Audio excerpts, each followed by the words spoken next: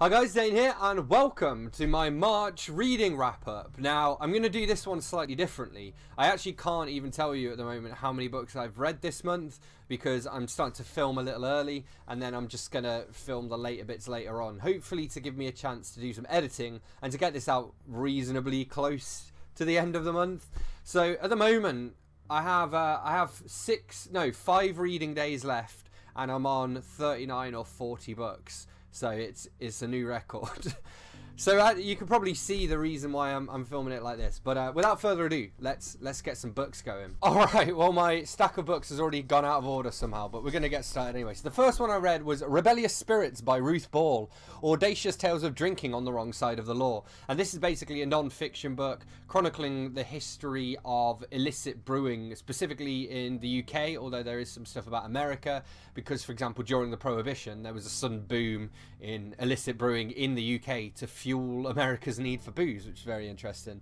Throughout this, there's also like cocktails, and the author basically gets these historical recipes, like some of them as far back as say the 1700s, 1800s, for these cocktails, and she'll present those recipes with, you know, giving you the source of it uh, in the original language, and then she'll provide you with like a modernized version with that, you know, different ingredients that are easy to get from your local supermarket and it's just a really interesting read about the history of illegal brewing. You've got like smuggling going on.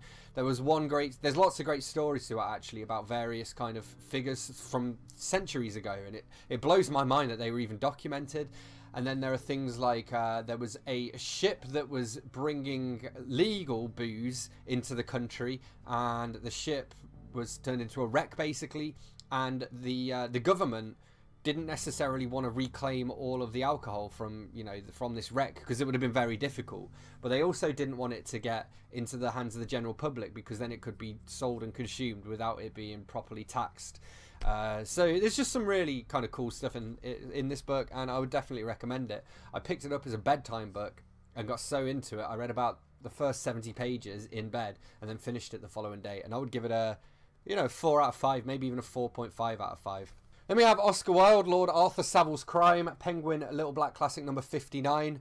Wilde's supremely witty tale of dandies, anarchists, and a murderous prophecy in London high society. And I mean, it's Oscar Wilde. He's one of my favourite authors of that time. I mean, there are some other ones I really enjoy, like Sir Arthur Conan Doyle and Bram Stoker and that, and that kind of those kind of authors as well. But uh, Wilde's just got this kind of inimitable style, and if you've read Wilde, you probably fell in love with him, and if you haven't read Wilde, you should read Wilde. This probably isn't the best way to start with him. I'd suggest maybe starting with the picture of Dorian Gray, unless you're into plays and that sort of thing, in which case, you know, maybe the importance of being earnest or something like that. Did still enjoy this, so I gave it a solid 4 out of 5. Alright, then we have Little Black Classic number 26, Henry Mayhew of Street Piemen. Or when I first read it, of Street PA is what I thought it was. The matchless chronicler of Victorian Londoners observes everything from a surprise pie fillings to a balloon ride over the city. And this is kind of like a quintessentially British, quintessentially London book. You feel as though you're walking the streets, you feel as though you can smell the pies, you can hear the cries of the street vendors. And because he was writing kind of in Victorian London as well, you feel as though you're in specifically Victorian London. So it's just a great book to read if you're into that kind of time period. It is non-fiction but it's just really interesting. Uh, another 4 out of 5 for me. Okay, here we have Hafez, The Nightingales Are Drunk, number 27. Spiritual, sensual verses on love, heartbreak, and celebrating life's small pleasures by the great 14th century Persian poet. And this one actually stood out to me above the rest of the poetry that I've read in this collection. I thought it was fascinating that he, he was a 14th century Persian poet and he spoke to me more than even uh, people like um, you know Samuel Taylor Coleridge, for example. So I'm going to read you some of the poetry here, so you can decide whether it's your kind of thing. I will say I think part of the reason why I enjoyed it was probably because uh, the translation was great, and uh, the translation was by uh, Dick Davis as well. So great name. Cheers, Dick. Uh, all right, let's go into here. All right, there are no titles for any of these poems, by the way, although there is like a contents page but I think that just lists like the opening lines. To give up wine and human beauty, and to give up love? No, I won't do it. A hundred times I said I would. What was I thinking of? No, I won't do it. To say that paradise, its ours and its shade are more to me than is the dusty street before my lover's door? No, I won't do it. Sermons and wise men's words are signs, and that's how we should treat them. I mouthed such metaphors before, but now I won't repeat them. No, I won't do it. I'll never understand myself. I'll never really know me until I've joined the wine shop's clientele, and that will show me I have to do it. The preacher told me, Give up wine. Contempt was in the saying. Sure, I replied. Why should I listen to these donkeys braying? No, I won't do it. So, yeah. Um, yeah, 4 out of 5, I think. Okay, then we have Matsuo Basho, Lips Too Chilled, Penguin Little Black Classics number 62. Japan's celebrated Buddhist poet balances the smallness of humanity with nature's epic drama in these magical 17th century haikus. I was always taught that the plural of haikus was haiku, by the way. And speaking of taught, that's where I was taught it on my creative writing course when I was at uni. Basho was one of the writers we studied, and he's basically the Shakespeare of Japan and probably the most well-known haiku writer. My only problem with this is that it's very sparse, so it's only got say four or six haiku per page, uh, per two-page spread, and I just feel like they could have squeezed more in, really. But i am going to read this double-page spread of them here. So, uh, mountain path, sun rising through plum scent. Another haiku, yet more cherry blossoms, not my face. Sleeping willow, soul of the nightingale. Behind the virgin's quarters, one blossoming plum. I should point out here as well that they're not necessarily five syllables then seven syllables then five syllables because obviously they've been translated from Japanese. But still, I really love Basho. I would recommend reading some of his work. I would just say get uh, The Narrow Road to the Deep North, to be honest, which is like his masterpiece. But um, if not, grab grab this if you can. 4.5 out of 5. Okay, then we have Henry James, The Figure in the Carpet, number 49. James's troubling late Victorian mystery of an unsolved literary riddle and sudden death has inspired endless speculation. Now, I really enjoyed The Turn of the Screw, and so I was looking forward to reading this because that's the only James that I've read. And unfortunately, I didn't really like this. I kind of liked what he was trying to do, and he did a great job at sort of setting this sense of time and place in this creepy, unnerving atmosphere. But it just wasn't enough for me. I wanted more plot. I wanted more sort of characterization, uh, better characterization, and I just wasn't absorbed into the story. I ended up reading this. Uh, this is when I sort of started reading these little black classics in bed because this one in particular, I just I wasn't enjoying reading it, so I decided to read it like a little bit at a time. So I, will give it. I'll still give it like a three out of five, but I don't know. Wouldn't recommend unless you're a big James fan. All right, it is a new day. But we're going to crack on with some more of these uh, little mini reviews for the uh, wrap up anyway. So here we have Hans Christian Andersen, The Tinderbox, number 23 of the Penguin Little Black Classics. Andersen's bittersweet fairy tales propelled their troubled author to international fame and revolutionized children's writing. So if you have ever come across any of Hans Christ Christian Andersen's work before, you know pretty much what to expect here. Let me see what was in here. We have uh, The Tinderbox, Little Claus and Big Claus, The Princess on the Pea, which is one of my favourites and possibly one of the most well known. The Steadfast Tin Soldier, The Nightingale, and The Red Shoes. And it was just, you know, a, a real delight really to read them. I, I've kind of, I'm familiar with all of these stories, but I don't remember ever reading Han Andersen specifically, but I'm sure I must have done. And it's made me want to, for sure, you know, get like maybe his collected short stories or something. So that's a, uh, I'll give that a 4 out of 5. Then we have D.H. Lawrence, Il Duro, number 71. Sketches of scorched landscapes, peasants, and wild spirits from Lawrence's travels in early 20th century Italy. And it does very much feel like stories of their place, you know, you really get the sense of what it was like to be there. I'm not to lie, it was a little dull at times, but I do enjoy Lawrence's writing as well, so that kind of counterbalance it for me. I'll give it like a 3.5 out of 5, um, but yeah, I was hoping for more from it, I think. Okay, then we have Words as Weapons, and this is by AJ, Doug Lucy, Lucy Jacobs, Mary Bell, Peter Cox MBE, Rowan Padmore, and Tom Kuhn, and Rowan Padmore edited it. And okay, so there's a story behind this, so let me try and get all the details straight. Basically, uh, I've met Rowan Padmore. I actually we uh, we were having a few drinks in Oxford, so she's friends with Bex. This was all done kind of in collaboration with the old fire station, which is where Bex works, and then I believe it was uh, Crisis which is a homeless charity that also shares the building with them. And so these are all done during workshops. And uh, yeah, I think it's in aid of Crisis. It's had a little bit of funding, I believe. And uh, yeah, definitely recommend checking it out. I'm going to read you a poem. Let's read you Glycerine by Lucy Jacobs. Sunny days glisten fine as glycerine. Shadows are not seeking, if only for a bit. God only knows the true mess you're in. I cannot help it, they tempt me to sin. I cannot help it, not in this kit. Sunny days glisten, fine as glycerine. Sparkle, it seems, is found in a tin that sickens, no doubt, and just muddies it. God only, God only knows the true mesh you're in. Sullen and silent, pale and too thin, thawing the madness that marries it. Sunny days glisten, fine as glycerine. Misery makes its marks so akin, insidious seeping, it hollows, it sits. God only knows the true mesh you're in. In prayers and penance, poems and sin, summer it startles the heart to commit. Sunny days glisten, fine as glycerine. God only knows the true in. So yeah, I gave it like a 3.5, maybe a 4 out of 5. As like an artifact, it's pretty cool, and I, you know, I like the idea behind it.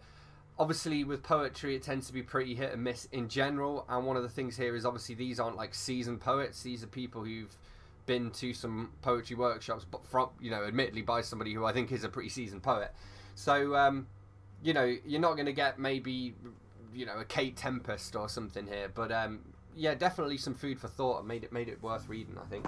All right, then we have H.G. Wells, A Slip Under the Microscope, number 77. Disturbing prescient stories of human conscience and conflicting desires by the pioneer of science fiction. I mean, it's H.G. Wells, so I enjoyed it. Uh, I went to see The War of the Worlds, like a stage play, kind of inspired. Actually, it's inspired by the uh, Welles radio broadcast of it. And so since then, I've kind of been on a bit of an H.G. Wells kick. So I read this, and I have another one of his up there on my TBR as well. So uh, yeah, I enjoyed it. I'll probably give it like a 3.75. It wasn't quite a 4 out of 5, but I don't know if it's necessarily like his finest work, but it is quite typical of him, if that makes sense. Okay, then we have Tulipomania, a King Penguin book, and this is by Wilfrid Blunt. And uh, basically, Bex collects um, King uh, King penguins and I got struggled to get my words out there. And uh, I actually got her some for her birthday as well, which will have happened by the time this video is uploaded, so I, I don't need to worry about spoilers. And she mentioned this one in particular because it's basically about a financial crisis that was brought about by tulips. Uh, it also has all these really beautiful illustrations in it as well. So it's kind of like a non-fiction book, but with these, you know, again with these illustrations in it. And yeah, it was just excellent. Really, uh, you know, really different kind of book, I guess. And it's made me want to read some more of the uh, King Penguins, but they are also quite expensive, so uh, I don't know. But I will give it a uh, pretty solid 3.75 out of 5, I think. Alright, then we move on to The Blue Fox by Sjón. And Sjón is an Icelandic author. Uh, he actually wrote lyrics for Bjork as well, and I heard a lot about him when I was in Latvia last year. I'm going to read the blurb for this because there's no way I can like summarize this. The year is 1883. The stark Icelandic winter landscape is the backdrop. We follow the priest, Baldur Skuggason, on his hunt for the enigmatic blue fox. And just as the priest pulls the trigger, we are swept away to the world of the naturalist, Frederick B. Fredrickson, and his charge, Abba, who suffers from Down syndrome. When she was found shackled to the timbers of a ship run aground in 1868, Frederick had fortuitously come to Abba's rescue. The fates of all of these characters are intrinsically bound, and gradually, surprisingly, unravelled in this spellbinding fable that is part mystery, part fairy tale. And I really enjoyed this actually. It reminded me of um, uh, The Alchemist by Paulo Coelho, except I didn't like that book, but I did like this one. But it had that kind of similar vibe and this sort of almost a kind of a timelessness, I guess, to when the story is and when the story is set. And yeah, I just really enjoyed it. It was quite short, quite sweet. Um, there's it's one of those where there's like a moral to it, but it's not explicitly laid out, so you have to decide for yourself the deeper meaning to it. I think it would stand up really well to rereads, and I have over there uh, from the mouth of the whale, which is another Sjón uh, book which I picked up from a charity shop. So pretty excited to get to that. All in all, I gave this a four out of five. Okay, then we have Tinder Nightmares, presented by Uninspirational, and this is literally just a collection of little like screenshots of Tinder conversations with like a running commentary on them. So, uh, for example, we have here uh, Matt. Matt said, I work for NASA. And the, the woman replied, Oh? And he said, Does that make you wet? And she said, Lol, not really. Uh, Alex here, he said, uh, or she, possibly. Roses are red, violets are blue. Actually, it says, Roses are red, violets are blue. You be the six, and I'll be the nine. You're so hot that if you ate a slice of bread, you'd shit it out as toast. Then, then they replied, The question is, would you eat the toast? Jeff said, without a doubt, I'd have seconds. So yeah, it's like a 3.5 out of 5. It's good for a laugh, I guess. But um, beyond that, you know. Okay, here we have Monami Frost, vegan home cooking with Monami Frost, and I've actually started watching her on YouTube. She has a YouTube channel. Uh, she has a lot of tattoos as well, which you may notice from the cover. If, yeah, in fact, yeah. So she has like her, you can't even see really, but her arm, like most of her arm, is just black. And she explained in a video why that is. Uh, she has a husband and a daughter as well. They're quite cute. I'm really sad because uh, basically after finishing reading this, I checked out the YouTube channel and watched a bunch of their videos, and I wanted to comment, but I can't because YouTube policy, basically because the kid is in it, they like disable comments on videos automatically uh, to like deter would-be pedophiles and stuff. But it's like it's the most wholesome content ever, and I'm, I'm just sad I can't like leave comments and stuff and I don't know be a part of the world I guess. But um, yeah definitely check out their videos. They're like super thought-provoking. And the recipes in this were really good as well. I liked the kind of layouts so there's like photos of them all. My only grumble would be that the the recipes are like alphabetical. So there's no like sections for like starters mains desserts or anything like that. It's just alphabetical. So on the one hand it, I don't know it makes it easier to look things up and also it kind of makes it fun to dip in and out of it but on the other, I guess if you specifically wanted to look for dinner, you, you know, it wouldn't be as convenient. But yeah, I, I, I, liked it. I gave it like a four out of five, and I got it for free with um, my vegan kind lifestyle box as well. So that was a, a nice little, that was a nice little win. Okay, here we have home. Actually, I'm just going to mention this. I didn't reread this, so this doesn't count towards my overall book count. Uh, Dane, remember that. Also update it in the description, please. Note to editing self. Um, but Homer, Circe, and the Cyclops, number 70. Uh, ancient Greek myths from the Odyssey telling of battles with deadly beasts and a beautiful enchantress. And the reason I didn't read it is because I read the Odyssey last year, so I've already read it. Okay, then we have Andrei Sapkowski, The Last Wish, probably butchered his name. This is the first Witcher book, or can be the first book, depending upon which order you read the series in. It's a collection of short stories. And uh, when I first picked it up, I wasn't really enjoying it, so I moved it to be like a, a, bedtime book, and then I actually enjoyed it a lot more just doing it a little bit at a time. It's quite intense going into this world, especially with no knowledge. I've never played the games or anything like that, so I didn't know any of the lore. And there are a lot of kind of creatures in this that I assume are from uh, Polish mythology that I hadn't heard of, so I, I found it a little bit harder to understand what was going on at times. But I did really like how a lot of these stories are kind of like quite moral stories and The Witcher is kind of an anti hero as well, but you can see why he makes a lot of the decisions he makes. But you can also see why he's disliked. So, for example, at one point he kills a bunch of people to stop a larger bunch of people being killed, and then he gets like they like banished from the town. They tell him never to go back, and he's like, "Well, at least uh, at least they didn't just hang me, I guess." Uh, he also has a little pal in this who's like a bard kind of guy who's very annoying and kind of gets them both into trouble a lot of the time. But makes for kind of a good little side side character, I guess. So overall, I gave this like a 3.5 out of 5, and I probably will read more of the Witcher books, but I didn't fall in love with it as I was expecting to. But um, I have fond memories looking back on it, so there is that. So I probably will go back to it at some point. All right, I'm gonna have a break. My voice is going. All right, next up we have Destination Unknown by Agatha Christie. And uh, this one was interesting because it was more like an espionage novel. It almost reminded me of Graham Greene or Ian Fleming or something like that. And uh, it didn't have Poirot or Marple or any of her other well known characters in it as well. So it was quite an interesting little standalone. It still wasn't her best or anything, and, and it's certainly not the best place to start with her, but I'd give it like a 3.5 out of 5. And uh, for an Agatha Christie fan such as myself, a lot of fun. Then we have uh, Michel de Montaigne, How We Weep and Laugh at the Same Thing, number 29. Glittering essays by the Renaissance master of the form, exploring contradictions in human thoughts and actions. And basically, this is about how we're all hypocrites and how it's kind of inherently human, I guess. and, um, but in a good way, you know, how that kind of contributes to our survival, I suppose. We have a bunch of different essays in here. So we have the titular essay, and then we have On Conscience, Fortune is often found in reason's train, on punishing cowardice, on the vanity of words, and to philosophize is to learn how to die which is by far the longest uh, collection uh, piece in this collection. And yeah, it was interesting enough. It was probably like a 3.5 for me. Uh, I might read some more De Montaigne in the future. I wouldn't rule it out, but I, I won't go out of my way for it either. Alright, then we have The Miniaturist by Jessie Burton, and I read this as a buddy read with Anthony Andrews. He actually uh, DNF'd it, uh, but I really enjoyed it. I gave this like a 4.5 out of 5. It's basically historical fiction set in Amsterdam. We have some interesting themes as well, um, so I don't want to give too much away if you haven't read it. But um, we have some sort of LGBTQ themes in here.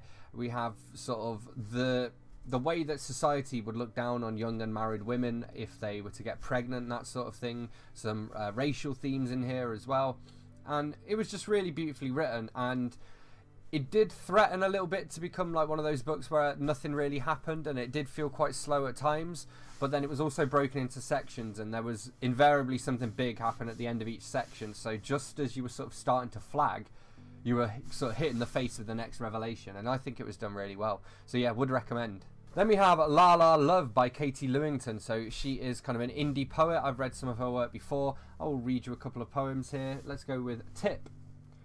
And if you are on your mobile phone, laptop, or computer, don't forget to stroke their leg under the table while you do check your email. Give them your attention. I see it too often. Couples argue because they feel ignored. All you did was reblog that and reply to this, but you rejected them. Give them love. Let's go with their 4am as well. A longing, wanting, needing, calling, up again 4am. Cold and dark as my eyes adjust, throwing my blanket around me, thoughts focus on you. What are you doing at this hour? Relieved of my thoughts as I switch on the TV, watching with a tub of ice cream. Are you sleeping? I turn the spoon over. According to my elongated reflection, I rearrange messy strands of hair and pout, blowing kisses. What are you doing? So yeah, I quite like Katie's stuff. I would give this like probably a 3.75 out of 5. Uh, I, I appreciate poetry's not for everyone, but it is the kind of poetry that I enjoy. Then we have Tomorrow by Joseph Conrad, number 64. Set in a desolate English port, Conrad's spare, savage, turn of the century story of lives haunted by the sea. Now, unfortunately, that's not really the kind of uh, setting that I'm particularly interested in, so I kind of struggled to keep myself motivated through this one. I did give it a good go, though, and eventually I took it through as a bedtime book and finished it there. Uh, the best I can give it is like a low 3 out of 5 I've read Conrad before and I did enjoy bits of what I read, but actually, what I've found with him is that I always enjoy his stuff more on a reread as well, so maybe I'll give that a go at some point. Okay, then we have Julius Caesar and Roman Britain by L. Du Garde Peach. This is a Ladybird book, it's actually one of the original Ladybird books. Short and sweet, some really nice illustrations as well. Just a history of uh, Roman Britain, basically. Uh, I think in this it actually mentioned Watling Street as well, which is a Roman road that um, basically went. Oh, here it is. It's in a map here. Look, you can see it there. This big Watling Street is this road here that goes here from Chester all the way down through here, down through St Albans into London, and uh, part of where that street is is in Tamworth, where I grew up, and so there's like a you know you can go down Watling Street, which is quite cool. So yeah, and the Romans built it. Very cool. Good work, Romans. Okay, then I went through Philip Pullman's Four Tales, and uh, this is actually a binder of four books in one. The first one is The Firework Maker's Daughter, which I'd already read, so I didn't reread that. Then we have I Was a Rat or The Scarlet Slippers, Clockwork or All Wound Up, and The Scarecrow and His Servant. And the first two of those I gave like 3.5, and then the fourth one I gave a 4 out of 5. And I think that was also because that fourth one was also longer as well. But they're basically fairy tales, you know, and I don't know. I, I I don't really like fairy tales. Sometimes I do, and sometimes I don't. And with these ones, I did like them because they were written by Pullman, but ultimately they didn't really leave much of a mark. And I think probably The Firework Maker's Daughter is actually my favourite of the four stories in this book. Alright, then we have Charles Darwin, It Was Snowing Butterflies, number 67. Exotic creatures and unexpected terrains populate Darwin's account of the Beagle's momentous voyage. So obviously, this is about Darwin when he went on the voyage with the Beagle, uh, and I think it was a f- physician or a physician's assistant or something. I can't remember now, but um, yeah, then he like formulated many of the ideas that later went into the origin of species, which I have read. This is more like travel writing with a bit of nature writing thrown in, and it was really interesting. I mean, it was quite dry, but it was also interesting. You know, it was like um, you need to be prepared going into it to be reading a book on biology, basically, with that kind of archaic language at times. But yeah, I gave it a, a four out of five. All right, then we have Johann Wolfgang von Goethe, Sketchy, Doubtful, Incomplete Jottings, number 36. The great 19th century German thinker's musings on self deceit, superstition, art, and ambition. And basically, a lot of this is pretty much like almost one liners, little bits that are like food for thought. I'm going to read you a few at random. Beauty is a manifestation of secret natural laws which without this appearance would have remained eternally hidden from us. As soon as the ideal makes a demand on the real, it in the end consumes it and also itself. Thus credit, paper money, consumes silver and its own self. It's got a slightly longer one. The question, are we to compare or not to compare when considering works of art, is one we would like to answer as follows. The trained connoisseur should make comparisons, for he has a general idea, a preconceived notion of what could be and should be achieved. The amateur, still involved in the process of being educated, can make the best progress if he does not compare but judges each achievement on its individual merit. This gradually forms an instinct and idea for the general situation. Comparison by the unknowing is really only a lazy and conceited way of avoiding judgment. Yeah, there was a lot of food for thought in this. Like I said, I'd give this a 4 out of 5 and I'd be interested in reading some more of the author's work. Then we have The Method by Duncan Ralston. I read this for Tardan Danes indie read along. I will link below because I did a full review of this as well. But uh, yeah, I did enjoy this. It's kind of it's an indie thriller basically, uh, kind of in the vein of Gone Girl and The Girl on the Train, except I thought done much better. But yeah, this is probably the best thriller I've ever read, or at least the one I enjoyed the most. And it's possibly because it has elements of other genres as well. So uh, uh, Ralston has written horror before, and you see sort of bits of that in there. We get some um, nice sort of intertextuality. One of the bits I really liked as well is one, the character is like a fire safety expert, and uh, I should explain. So the method is basically this retreat that couples go on to kind of repair their marriage. And he was he was wandering around this uh, retreat and where they were supposed to be living and pointing out all of the uh, you know regulation violations, which I thought was cool. So yeah, uh, pretty solid four out of five. Here we have A Blink of the Screen by Terry Pratchett. This is collected short of fiction. And this spans most of his career. It has some Discworld spin offs, it has some early versions of things like the Long War books that he wrote with Stephen Baxter and uh, yeah, it just was just a lot of fun. A lot of these were actually originally published in newspapers around my area because he used to live in uh, Beaconsfield, which is about three, four miles away from me. So it was cool to see that. And again, it's it covers about 40, 50 years of Pratchett's career. And just if you're a fan of his, you should definitely you should definitely check this out. Here we have Mary Kingsley, A Hippo Banquet, number 32. The fearless, pioneering Victorian female explorer describes dodging elephants and fighting off a leopard with a stool in Africa. So this was worth reading just because of how much of a badass she was. She did have a few kind of things in terms of her beliefs that are maybe a little bit outdated now, kind of a little bit of a colonialist, borderline racist at times. But also, she did genuinely have a lot of respect for all of the natives of all the countries that she visited, and that, and that does come across. So you, there's no malice there, if that makes sense. And a lot of it's really beautifully written. There's a lot of again of, of nature writing in this.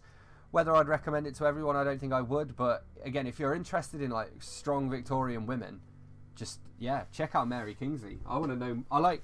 I don't necessarily want to read more of her stuff, but I want to know more about her. All right, then we have a bedtime book. This is Jaws by Peter Benchley. Uh, everyone pretty much knows what Jaws is about. I actually I have seen the movie a couple of times, but I don't know it well enough to compare it to the book. I've heard that the two are quite different.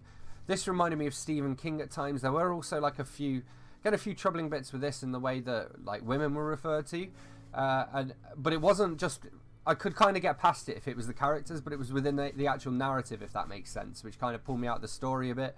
But I did like it. I also liked how bleak the ending was. It, it, was one of those where it took me a while to get into it, but the more I read it, the more I enjoyed it. And uh, yeah, I mean, it was fine. I, I, if you're into like horror and stuff, check it out. But otherwise, probably you know, it's it's just all right.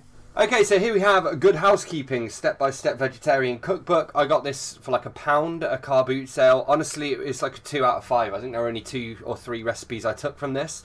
I was thinking I could veganize the recipes because obviously they're vegetarian, but I could use like vegan cheeses and milk and this kind of stuff. Stop meowing, cat. I'm reviewing. But it turns out there actually weren't that many recipes in here that I wanted to try anyway, and so I was kind of disappointed by it. So yeah, two out of five. Then I read Ian Fleming Thunderball. So I thought I'd read all the Bond novels, but this one I'd missed this one out for some reason. I did enjoy it. It wasn't the best. It's probably like a 3.75 out of five.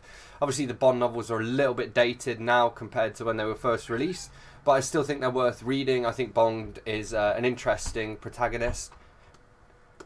And uh, yeah, I'd suggest checking it out. Alright, which way round does this go? I guess this way round. This is uh, Death Note Black Edition Volume 1, story by Tsugumi Ohba, art by Takeshi Obata. It's my first experience with manga, so obviously reading right to left. I am familiar with the Death Note story. I've seen like the Japanese movies and the like American uh, Blasphemy that was released via Netflix. So I kind of know the story already. So I gave it like a 4.5 out of 5. And really, the only reason for it not to get that full 5 out of 5 was that there was nothing that took me by surprise in it. But perhaps that will happen later on because I kind of don't really remember it that well. But as I was reading it, it was all coming back to me, you know?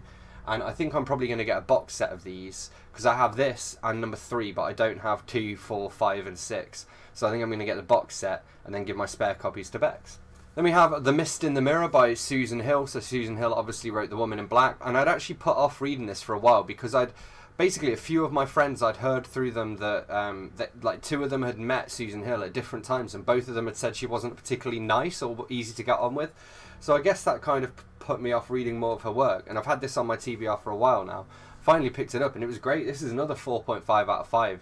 Really good job at like building this kind of creepy atmosphere. It was very similar to The Woman in Black in that both of them kind of follow sort of a young man as he delves into the past and is kind of haunted by it as well.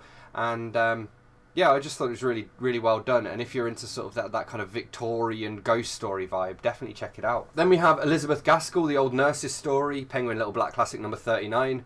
A ghostly child roams the Northumberland moors, while fairy tale characters gather at a strange party in these two Victorian Gothic tales.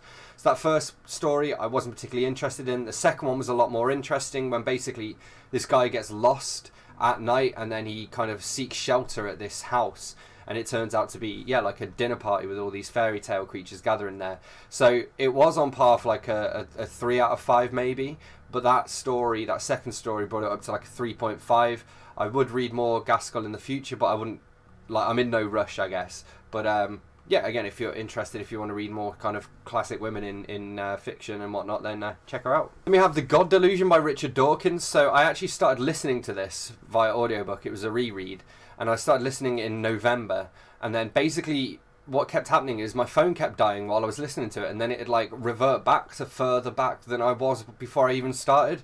So I kept listening to the same bits over and over again, and eventually I just decided, you know what, I'm going to finish off listening to it. So I did. I gave it a four out of five. I have filmed a review for it, which isn't out yet, but maybe out at some point. And uh, yeah, it was again a reread. It was a five out of five my first time, four out of five in the second time, but still very interesting. Lots of interesting debates. I took loads of notes and that kind of stuff. And it was also read by Richard Dawkins as well, which was pretty cool. Then we have Gooseberries by or Gooseberries by Anton Chekhov, number 34. Chekhov perfected the short story, as showed in these three moving miniature dramas of love, dread, and lies. Now, unfortunately, while I could appreciate that the writing was, you know, very well done, I just wasn't that engaged with these stories, so I didn't particularly enjoy them. I, I don't know. I'd give it like a three out of five. It's probably one of the weaker uh, story collections so far, which I think is kind of interesting when it says that he perfected the short story, and I'm like, well, there wasn't evidence of it here, unfortunately. But um, you know, here we have Romeo and Juliet by Sonia Leong. So this is a manga version of Romeo and Juliet. It's set in Tokyo in like the modern day, so it's a bit reminiscent of Baz Luhrmann's Romeo and Juliet movie it uses most of the original dialogue, and so it's kind of a weird juxtaposition because at some points it just feels as though you're reading the original Romeo and Juliet, and that that's when it's set, you know. And then suddenly they go into a club and there's like yakuza's gang banging and stuff, as in like you know, pew, pew, pew, not as in you know yeah I, I gave it like it was like 3.5 out of 5 it would be good if you had a kid who was into manga and he was studying shakespeare at school but as somebody who like I like Shakespeare more than manga, I guess. I don't know. They just didn't mesh too well for me. We have the Department for Transport, the official highway code. This is another reread of this for me, and uh, this was in preparation for taking my driving theory test, which I passed. Hooray! Uh, so now I just need to pass my actual practical test, which may, may take a little longer. But yeah, uh, reread number three of this. I mean, it is what it is. It's like a 3.5 out of 5. Uh, maybe maybe I'm going to be generous and give it a 4 out of 5 because I passed. So it did its job. Then we have The Good Man Jesus and the Scoundrel Christ by Philip Pullman. This is basically like a retelling of the story of Jesus, except that Jesus has a brother called Christ, and it kind of follows the two of them, and it sort of subverts what the biblical stories are, but I think in quite interesting ways. So, for example, there was the story of the feeding of the 5,000, and what actually happened was that once Jesus started sharing the food that he had, everybody else started sharing a little bits of food that they had, and eventually there was enough to go round. And I think that's a really quite a powerful like message it's almost more powerful than the original story now it's come under fire a lot from like religious groups and whatnot and i can kind of see why but personally i'm an atheist so i don't really care and on the back it says this is a story and I think you should see it as a story, you know. And it's one of the few retellings I've read that I actually enjoyed. I gave it a 4.5 out of 5. Food for thought. Then we have The Boy in the Striped Pajamas by John Boyne, which, despite being very popular, I unfortunately didn't like. I gave it a 2 out of 5. I thought the writing was okay in places, but so I did this full review of it and I did a rant about it, I guess, in my uh, reading vlog as well basically none of it seemed to make sense to me. So, for example, I don't understand that this that um, what was his name Bruno could have spent day after day talking through a fence to a Jew kid in Auschwitz, especially when there was a hole there that they could fit through. I don't understand why this kid didn't run away. I don't understand where the guards were. At the end, the Nazis just rounded up a random bunch of people and gassed them, and I don't understand why they weren't focusing on like the weak and the unfit to work. I don't understand how this kid was living. He was a nine-year-old kid living in Berlin in 1942 and hadn't heard of Hitler. For me, that's like if you got a nine-year-old kid living in London now and they hadn't heard of the Queen, you'd be like, "What is going on?" So I don't know. I just didn't like it, unfortunately. So yeah, two out of five. Then we have CP Cavafy, Remember Body, Little uh, Penguin, Little Black Classic number 43. Moving sensual verses on nostalgia and desire by the masterful early 20th century Greek poet. And what's interesting about these is that, from I understand anyway, I think he was a homosexual. is that the term we use these days? Um, but obviously at a time when it was um, frowned upon and it's kind of covered in some of these these uh, poems. I'm just going to read you a couple of them at random. We'll go with the uh, the tobacconist's window. Near the brightly lit window of a tobacconist's shop, they stood amid a crowd of people. By chances their gazes met, and hesitantly they half expressed the illicit longing of their flesh. Later, after several anxious steps along the pavement, they smiled and gently nodded. Then the closed carriage, the sensuous mingling of their bodies, the hands, the lips coming together. We'll do one more. In despair, He's lost him for good, and now on the lips of each new lover he seeks the lips of the one he lost. In every embrace with each new lover he tries to believe that he's giving himself to the same young man. He's lost him for good, as if he'd never existed. The boy wished, so he said. He wished to be freed from the stigma and reproach of that unhealthy pleasure, from the stigma and reproach of that shameful pleasure. It wasn't too late, he said, for him to break free. He'd lost him for good, as if he'd never existed, through imagination and self delusion. He seeks those lips on the lips of others. He's trying to feel that lost love again. So yeah, three out of five for me. Um, uh, sorry, three point five out of five for me. Pretty good. Um, not necessarily my style of poetry that I'm into, but I, I did. I appreciate the subject matter as well. Actually, I thought it was really well done. And then finally, for now, I will come back, as I said, in a few days and finish this off. But uh, this is 30 Days of Vegan by Catherine Kidd RD. And again, with my recipe books, I don't consider them to be read until I've gone through and tried all the recipes I'm interested in. This one didn't have a huge amount, and actually, the bulk of this is like a meal plan. So, for your first 30 days as a vegan, which I didn't bother following because it wasn't my first 30 days as a vegan, and also, I don't think meal plans tend to work that well because, like, I don't know, I'd go out and unexpected things happen and you deviate, and then, like, I don't like having a plan and not sticking to it I don't know, more than 90%. But yeah, there were one or two good recipes in here that I did enjoy for what it was. It was alright. I also got it on a discount. I assume it was like released to tie in with Veganuary and then I got it in like February, March. And so that's why it was discounted. It was like a 3 out of 5. And uh, yeah, that's, that's where we're at. So yeah, I am up to date with my reading and I will see you shortly. Uh, handing over to Future Dane now. Alright, Future Dane is here and this is the last little bit for my March wrap up. I have I think four more books, so I will film these off and uh, edit it all down, get it uploaded, and we'll see how many books I actually read, which would be very interesting. But uh, yes, so we'll start with this one. This is Station 17 Chronicles by Ollie Jacobs. This is an indie book. Basically, it all sets. It's all set in a uh, like a research laboratory that's kind of pretty much at like at the end of the world, you know. And strange things happen at this place. Like people who spend time there go a little bit crazy. And this book has uh, it says like three stories. It's basically two novellas and one really short story at the end uh, that take place at Station 17. So uh, in the second one, which I think was my favourite one, the CEO of the company goes along and he gets convinced that people there have rot, and so he's trying to kill them all to stop the spread of this rot. Uh, and the third one is kind of like just basically a description of the station as it lies abandoned there, you know. Um, there were some good bits to this and there were some bad bits. I gave this like a 3 out of 5. There were a lot of typos and spelling mistakes that really took me out of this one. And I just think the whole thing could either have been shorter or that they could have all been integrated into one longer novel potentially. Um, something about it just didn't agree with me, unfortunately, and that's a shame because I really do like Ollie's books, and I think just this is like my least favorite one of like eight of them now or something. But um, I would still definitely recommend checking out his work. Then we have a couple of Penguin Little Black classics. So we have The Yellow Wallpaper, number 42, by Charlotte uh, Charlotte Perkins Gilman. This horrifying semi-autobiographical feminist story of imprisonment and madness scandalized 19th century society. And there are two stories in this, or were there three? Let me check. There are three. There's the yellow wallpaper, the rocking chair, and old water. The yellow wallpaper is probably the best of them, and it's basically about this woman who has been kind of emotionally manipulated by her partner into believing that she's going mad when she's actually going mad because he's an asshole. So that's kind of I guess where the feminist part of this comes in. The other two weren't as good, but all overall, like the writing style was pretty good. I'd give it a 3.5 out of 5 and would definitely read some of her stuff. Um, I do think the yellow wallpaper is like her most famous and most sort of critically acclaimed story though, so I don't know whether I've peaked or not. We'll, we'll see. Then we have Herman Melville, the Maldive Shark, number 38. Dark, nightmarish sea stories and poems inspired by Melville's adventures around the world's oceans in a whaler. And I actually thought this was non-fiction until I just read that, so maybe it's not non-fiction. It's basically just stories about nature with some poems in them.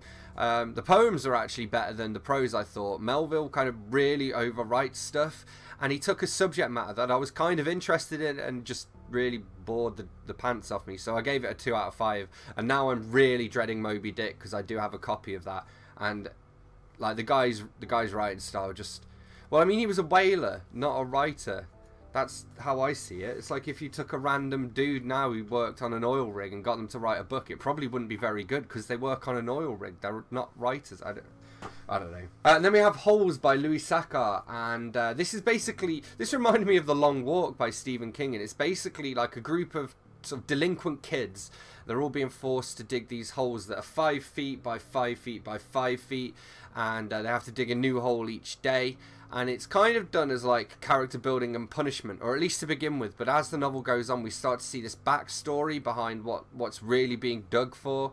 And it all ties in together quite nicely. But i just didn't like that story as much as the the actual focus of this as being you know the, the you know the penal system and how they you know uh, so basically this kid the, the main character we follow he was accused of stealing some trainers that he didn't even steal and then he was given the choice of either going to uh, going to dig these holes or going to jail basically. I said in uh, in my vlog it's, it's like getting, like sending a kid to the ranch on dr phil. So yeah i liked it. The first half of it was I thought it was going to be a 5 out of 5, and it was at, at, the very least a 4.5 out of 5. But then the second half I didn't like as much. So overall I gave it a 4 out of 5, but it was a very good book, and I would certainly recommend reading it. Especially if you like things like um, like The Outsiders by S.E. Hinton. It's kind of in that vein, I guess. Almost like kind of forerunners to today's YA. Yeah, there we have it. That is what I read in March. As always, don't forget to let me know in the comments if you've read any of these books and if so, what you thought of them. Hit that like button if you've enjoyed this video. Hit subscribe for more, and I will see you soon for another bookish video. Thanks a lot. Bye bye.